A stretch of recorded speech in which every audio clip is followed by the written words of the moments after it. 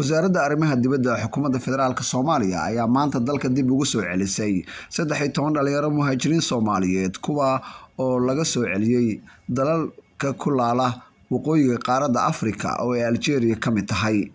Safiirka dowladda federaalka u jooga dalka algeria danjire cabdiwahaab macalin maxamed oo uu weheliyo agaasimaha waaxda isboortiga ee wasaaradda dhalinyarada iyo isboortiga xukuumadda federaalk soomaaliya ayaa maanta soo dhaweeyey saddex iyo toban dhalinyaro soomaaliyeed oo ka mid ah muhaajiriin soomaaliyeed oo laga soo celiyey dalalka algeria tunisia libiya niger mauritania iyo xadka dalka morocco.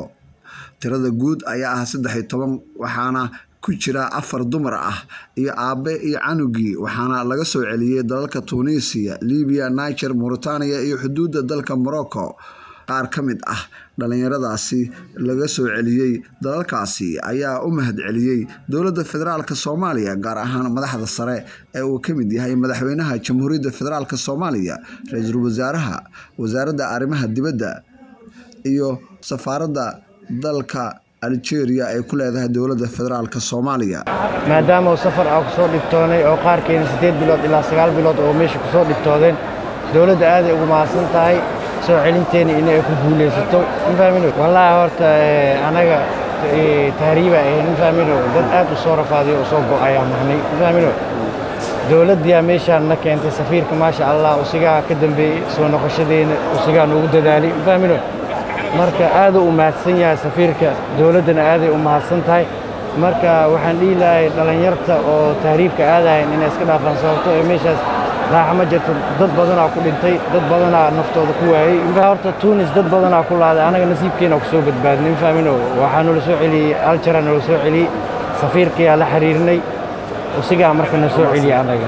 Xamdi cabdilaahi guuleed. Waxaan halka salaamaya dowladdeena sharafta leh gaar ahaan waxaan salaamayaa safiir cabdiwahaab oo in badan wallaahi noo shaqeeyo noola dadaalay. Waxaan leeyahay dowladdeena waxaan u baahanay gacan qabad inaad noo samayso amba business oo kale. Wallaahi aadna waxaan uga mahad sheeganaynaa hay'addaana soo dhaweysay iyo safiirkeena ilaahay cimriga ha u dheereeye horta dhibaatada waxay iga soo martay tunuusiya waxaan leeyahay dadka iga dambeeyana meel aan dalkeena ahayn ha aaminina.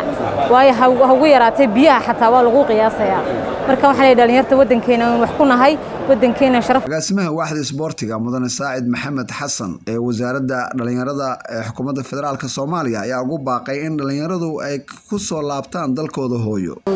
Waalidiinta wasaaradda dhalinyarada isboortiga wasaaradda arrimaha dibadda kaasoo ujeeddadeeda ahayd in dhallinyaradan ay ku soo noqdaan dhulkooda hooyo. Runtii dhallinyarada hadda timid waxaan u sheegayaa inay yimaadeen dhulkoodii hooyo inay u soo laabteen waalidiintooda aabbahooda iyo hooyadooda oo aan u rajaynayo inay wax la qaybsadaan dhallinyarada soomaaliyeed ee joogta dalkooda. Cabdiwahaab macalin maxamed safiirka jamhuuriyadda federaalk soomaaliya u jooga dalka algeria oo ka hadlayay munaasabadda soo dhoweynta ee gudaha garoonka aadan cabdulle ayaa faahfaahiyey xaaladda muhaajiriinta la soo celiyey noqdaan in la soo celiyo meel kasta oo ay joogaan iyo wakhti kasta oo la joogo in la soo celiyo. Madaxweynaha iyo ra'isul wasaarahu waa ku mahadsan yihiin.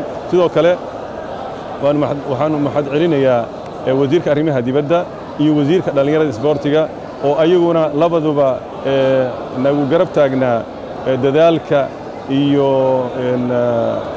nagu dhiirigelinayey inaan dhallinyaradaas soomaaliyeed meel kasta oo ay joogaan aan gacan siino. Waxaan marka ugu dambayn aanu mahad celinayaa qof kasta oo gacan ka geystay in dhallinyaradan ay dalka ku soo noqdaan. Sidoo kale waxaanu mahad celinayaa hay'adda iomta xafiiskeeda xarunteeda algeria oo xiriirka xiriir iskaashi uu naga dhexeeyo gacan weyna ka geystay inay dhallinyaradan diiwaan markaan annagu liiska aan u gudbinno u gudbinnay diiwaan geliyeen.